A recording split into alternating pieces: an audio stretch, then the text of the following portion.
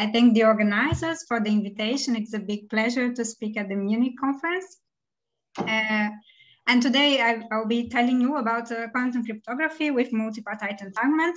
Uh, actually, maybe will, my talk will be much more focused than this general title, but uh, so I will uh, briefly comment about, in general, about quantum cryptography.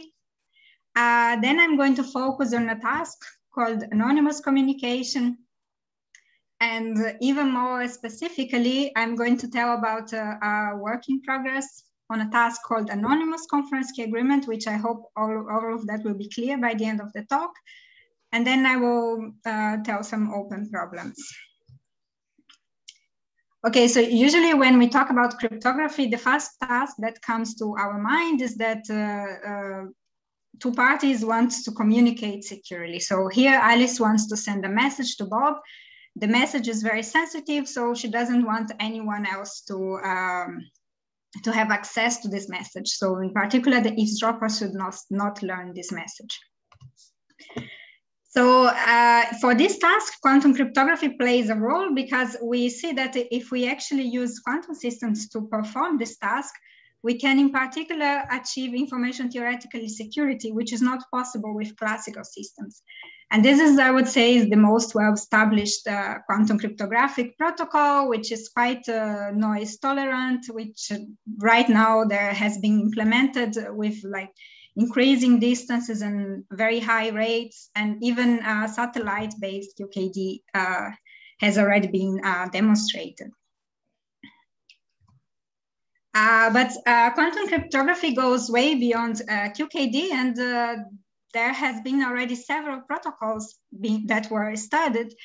And uh, for quantum cryptography, we can have either that uh, in the end, we are performing a classical task, and this task is enhanced by using quantum systems, as for example, QKD, which now we achieve like a stronger security if we use QKD instead of, if we use quantum systems instead of only classical systems. Um, as for example, uh, we can uh, ensure that we have random bits that are uncorrelated with an eavesdropper, and uh, this can be ensured even in the called device independent scenario where we don't trust our devices. Uh, bit commitment and oblivious transfer when we have two parties that don't trust each other. And uh, if we can ensure that they don't have quantum memory, this task can be implemented, while classically it cannot and so on. So there has been several protocols started and also like tasks that are intrinsically quantum. So I want to uh, share a quantum state in a network uh, such that the parts cannot recover this quantum state independently, for example, quantum secret sharing, blind quantum computation, and so on. So these are just uh, a few examples. So uh, well, the subject of quantum cryptography is much broad than QKD. So uh, in this talk, I want to focus now on uh, one other specific task, which is called anonymous communication. So now Alice wants to send a message to Bob, but now the message is not really so sensitive. The content of the message is not sensitive, but instead, we wouldn't like uh, the identities of the persons who are sending and receiving this message to be public. So maybe Alice is shy, she doesn't she wants to send a letter to Bob, but she doesn't want to reveal herself and so on. So uh, in fact, uh, uh, even a, a, quantum cryptographic task, which is called anonymous quantum communication, has been uh, studied. And in this case, uh, Alice wants to send a message to Bob, but now she can even send a quantum message. And uh, in fact, they are in a network and we want this uh, task to be performed anonymously in such a way that all the other parties in the network are ignorant about who is uh, sending. So the message is going to be transmitted, but we don't know uh, who of the parties are the sender and who is the receiver. Uh, so this task was firstly introduced in 2005 by Christandl and Wehner. Uh, making use of multipartite entanglement to achieve this task. Wait, I will get a bit more in details on that. So uh, basically, so the task is sender and receiver wants to share, uh, so Alice wants to send a quantum state to Bob. They are in a network and we want the other parts to be anonymous, to be ignorant about who is uh, exchanging this message. So um, the most important ingredient for this, this protocol, as it was introduced in 2005, is that uh, sender and receiver, they can establish anonymous entanglement. So uh, this point I will comment a bit later. I will explain what is this task about anonymous entanglement. But I just want to, to say here the key ingredients and features of, uh, of these protocols that had, had been quite widely studied, even like more recently. So in order to implement this task, so first ingredient, anonymous entanglement, which uh, necessarily requires the parties to share a multipartite entanglement state. Secondly, these protocols, they heavily rely on the use of classical subroutines. So these classical subroutines, in this uh, reference of Broadbent and Tapp in 2007, they introduced a lot of uh, sub protocols that allows, for example, uh, many parties in a network to compute the parity of their inputs in such a way that the inputs are not revealed.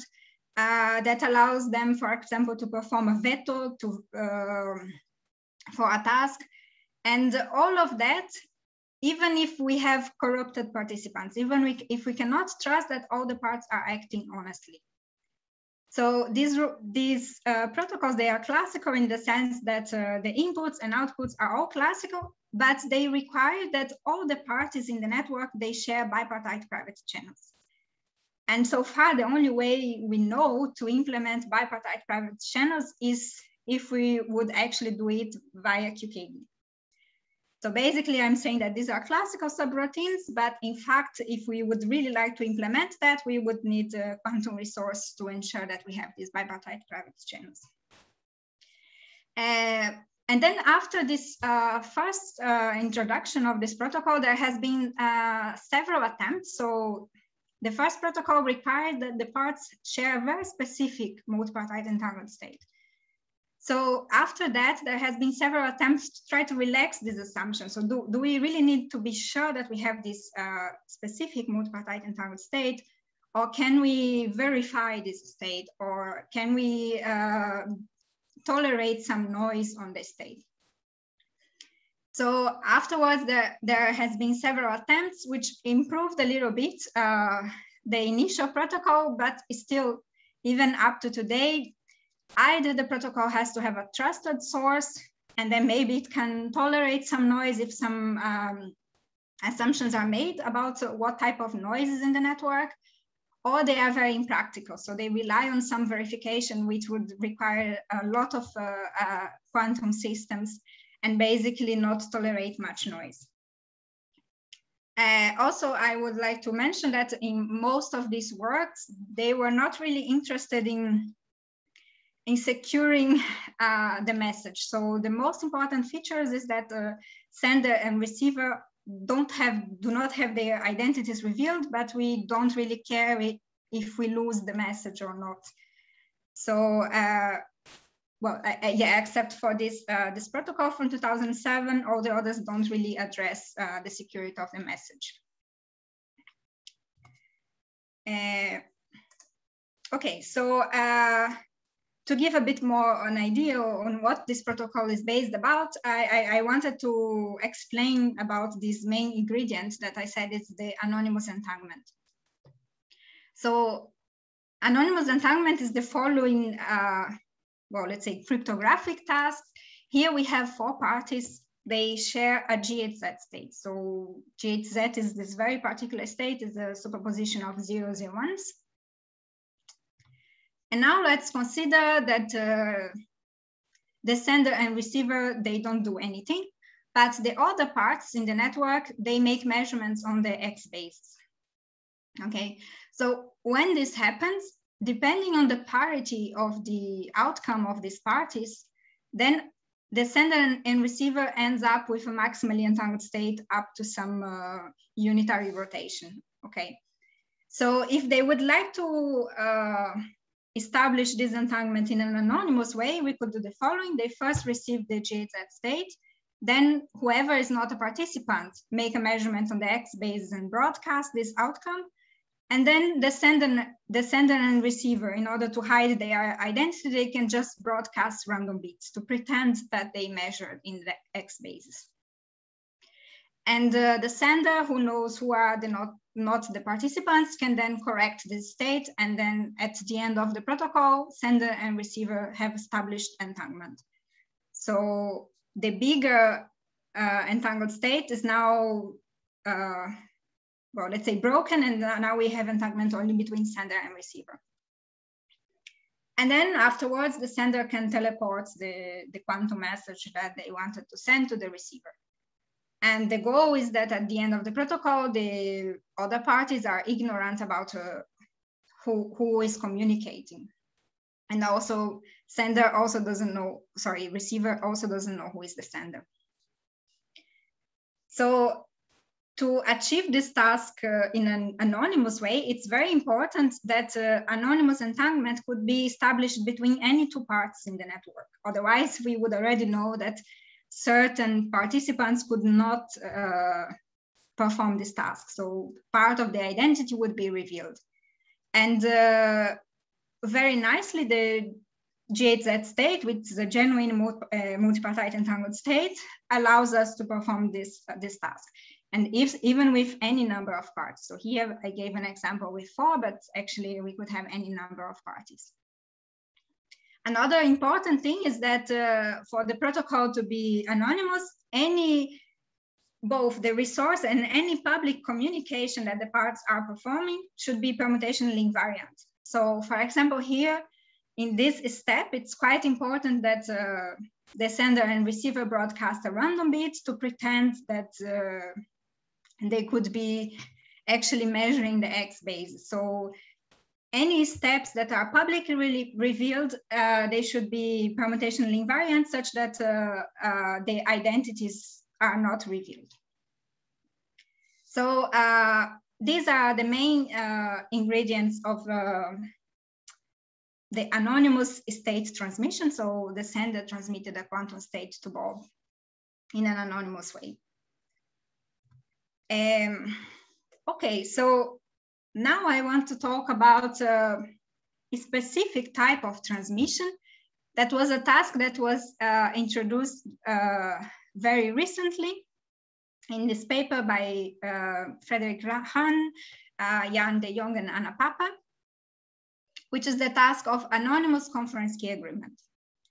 Uh, so first, to break into in two parties, I want to just define what is conference key agreement so conference key agreement is the generalization of QKD for more parties. So now I don't want to establish a key only between Alice and Bob, but between several parties. So at the end, I want that all the parties share the same string of bits in such a way that the eavesdropper is uh, ignorant about, uh, she cannot know this key. And uh, this task has been already uh, studied for quite a long time and also with the introduction of multipartite entanglement to perform this task, which has been shown to be uh, more efficient, more advantageous um, in terms of key rates.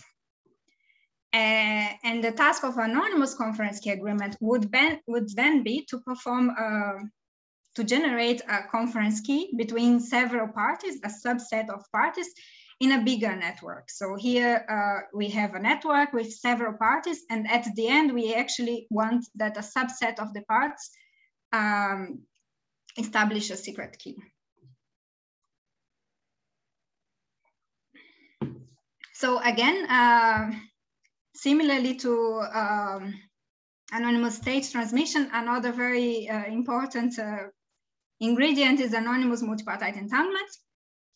And here it's just a, generalization of that task that I just explained. So now if I have several parties that share a GHZ state, now the ones who are not involved in the, the key, who are not participants, they should measure in the X basis and this generates a smaller GHZ state. So before I had a six party GHZ state, now I ended up with a three party GHZ state.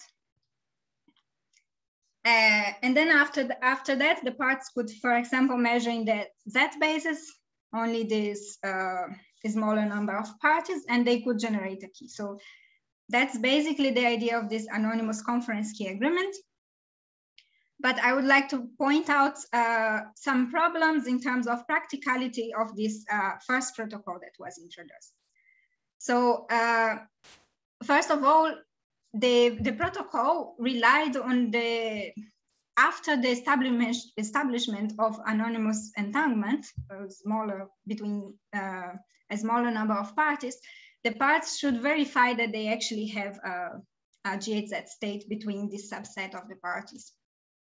And in, the, in this reference, this, the authors use the verification based on verifying the GHZ state. And for this verification, most of the runs of the protocol, they actually had to verify. So they could not be used for key generation, but for verification. So this made the protocol in practice very inefficient. Also, at, at the moment, for, for the way the protocol was designed, it could only um, the, the source of the state, so the, the source who generates the state should be trusted. So it could not have a, we could not have an eavesdropper that, for example, has a purification of the, the state that's generated. Uh, and also the protocol could not be robust to noise. So the verification only passes if the state is very close to the GHZ state while we would actually want some protocol that can tolerate some amount of noise. A bit like in QKD, uh, nowadays there is uh, protocols that can tolerate quite a high amount of noise, and the same for conference key agreements. So we would like these features to also be uh, be obtained for the anonymous conference key agreement. Okay, so now I'm going to talk about uh, uh a work that is currently in progress that should be on arXiv soon. That is a collaboration between uh, Dusseldorf and Berlin. So with Federico, Hermann, Dagmar, Jarn, Frederik, and Anna, and these three was, were the authors of this first uh, anonymous conference key agreement paper. And uh, basically our goal is to design a robust anonymous conference key agreement protocol. Uh, so to be more specific, we would like the protocol to be efficient such that we don't have to, to test the, the resource state in almost all the rounds and also to be robust. So in particular, usually in, in uh, QKD or conference key agreement, we have these steps of error correction and privacy amplification, which is what allows us to tolerate noise. And we uh, incorporate these steps in our protocol.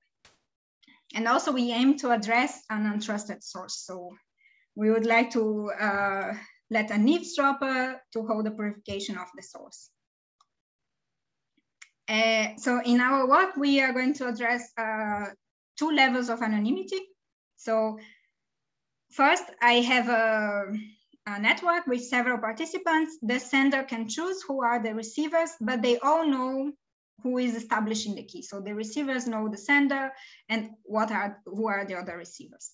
And what we call fully anonymous conference key agreement is then the other parts in the network don't know who are sender and receivers, but also the receivers, the only thing they know is I am a receiver. I don't know who is sending me this, with whom I'm establishing this conference key.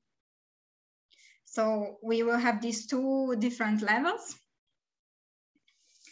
Uh, and uh, well, the first result that we obtained is related to the security definition. So uh, we now have a task where we want to perform um, an anonymous uh, communication, but we also want that the, the communicated message, which is the key that is established at the end is also secure. So we have to uh, incorporate in the security definition both uh, the secrecy of the key and the anonymity of this communication.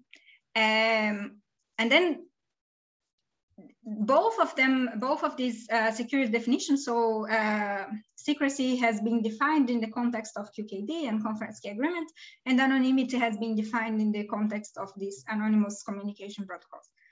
Uh, but then we, a very nice result that we obtain is that uh, by imposing that, uh, okay, I want my the final state of my protocol to be close to an ideal state, we are able to uh, derive three uh, sufficient conditions. So integrity, CKA security, and anonymity. And I'm going to talk a little bit about that. So these three conditions are sufficient to, to prove security in this in the sense of this equation that the final state is close to what we would expect to be an ideal state. Um, so uh, so a protocol is secured. So I just want to informally uh, explain a bit about these conditions. So integrity means that uh, I want the protocol to have a well-defined sender and receivers. So a single sender and well-defined receivers, uh, or the protocol should abort. If this happens except with uh, probability epsilon integrity here. Also, we want that if the sender and the receivers are honest, then the protocol either should abort for all the participants or it should generate a secure key, a secure conference key between the sender and the receivers only.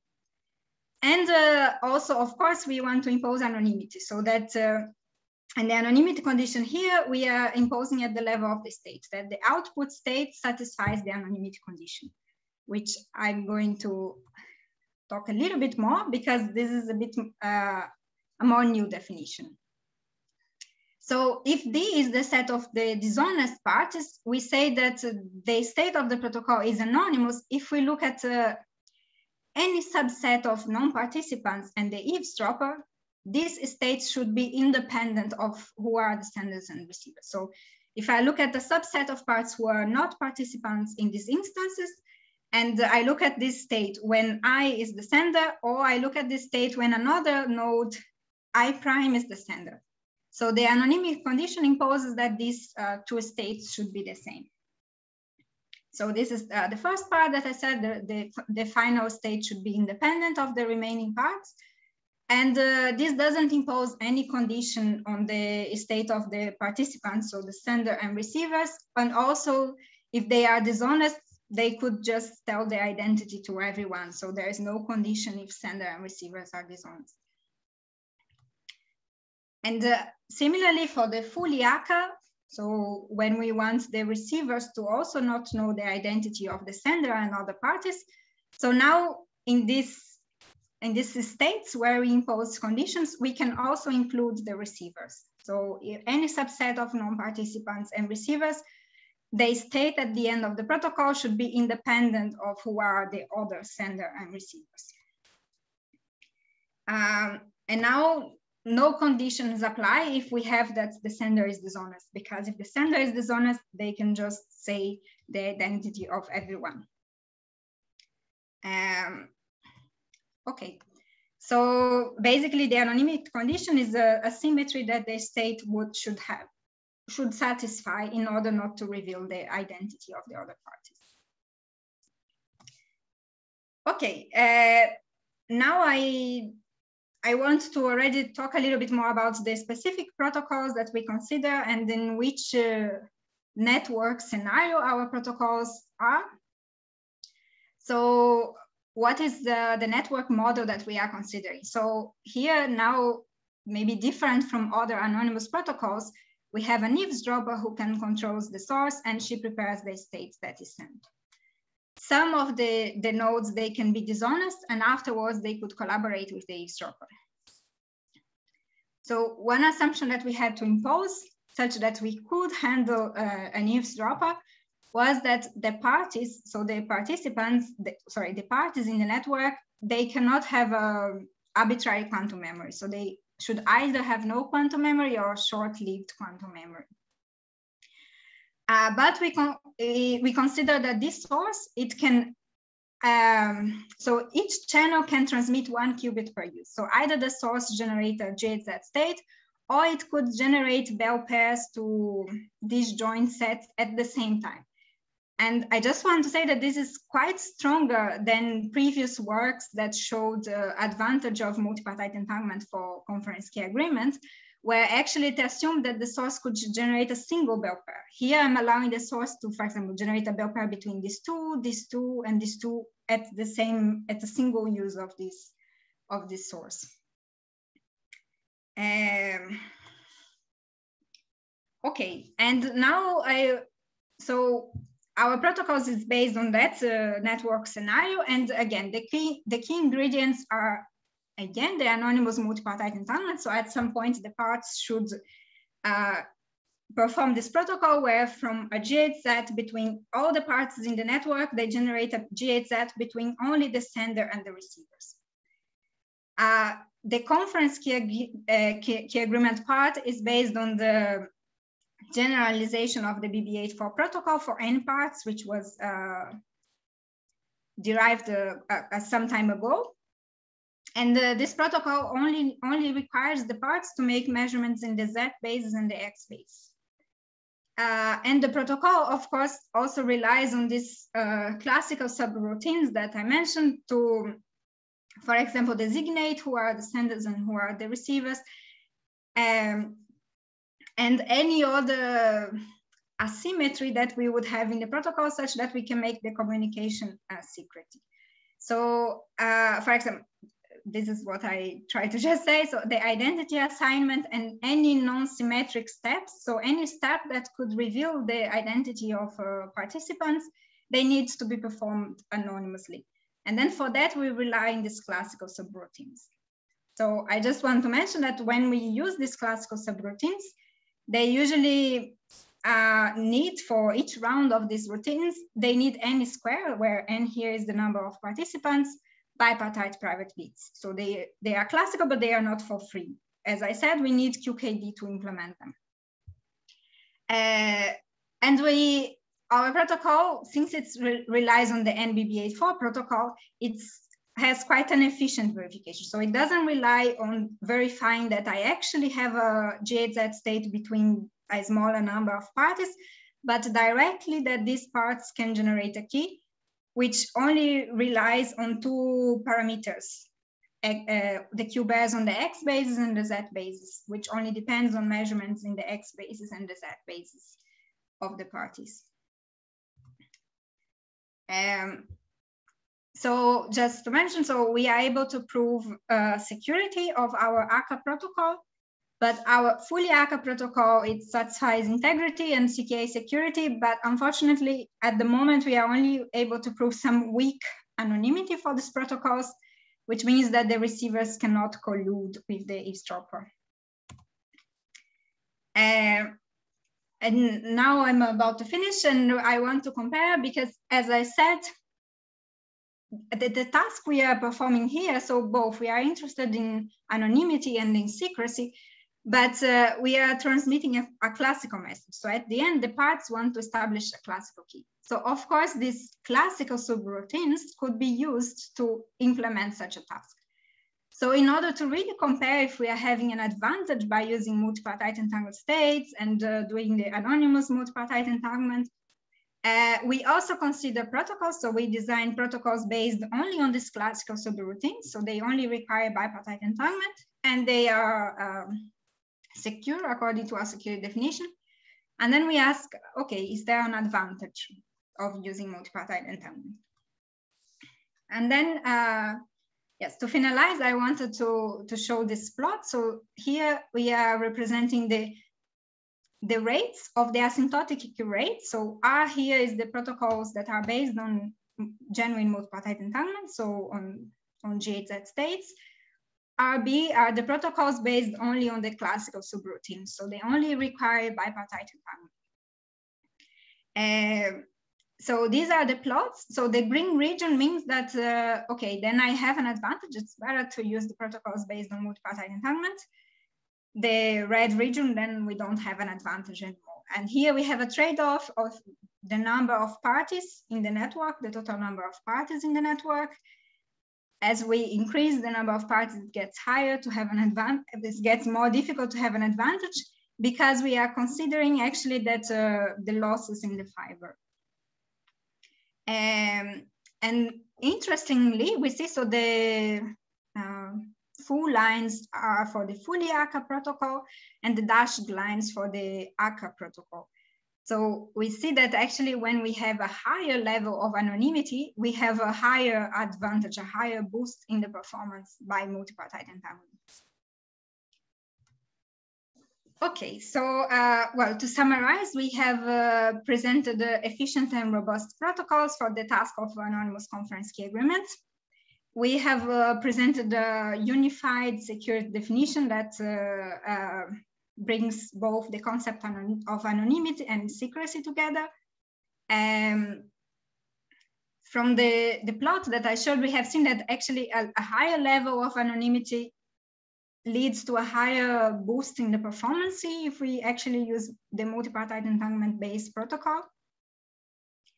And uh, well, finally, I want to mention a few open questions. So we have this uh, unified security definition. Uh, it's still an open point whether it actually implies composable security of the protocol, like we have for the security definition of conference key agreement and QKD.